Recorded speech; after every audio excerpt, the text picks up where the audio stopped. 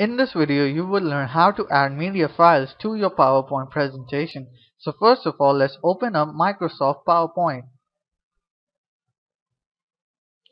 Move over to the Insert tab and you will see a number of options which you can add to your presentation. So let's add a video in our presentation. Click on the video icon and choose the file that you want to add in the presentation. You can drag around the video on the canvas and resize it according to your needs. You can even trim the video by second clicking on the video and choosing the trim video option. Move around the cursors and select the part of the video that you want to show in your presentation. Once done, simply click on OK.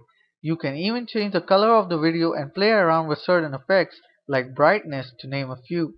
You can even add a frame to your video.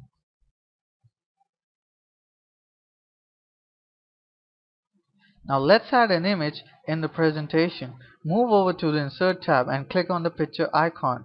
Now all you have to do is choose the image that you want to add in the presentation.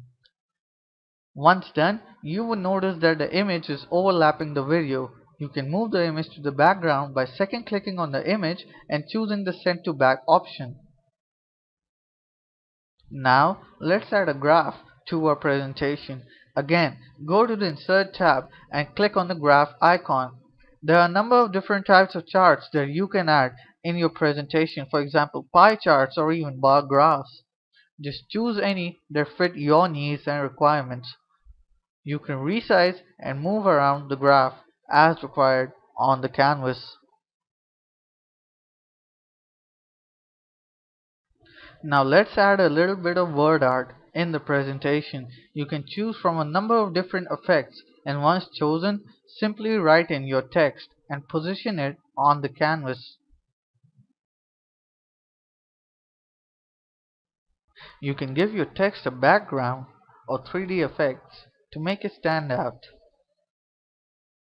There are numerous of other features which you can add to your presentation. For example, audio files for adding a little bit of music to your presentation or even picture galleries or slideshows. Just play around with PowerPoint a little bit. You're gonna get the hang of it sooner than you think.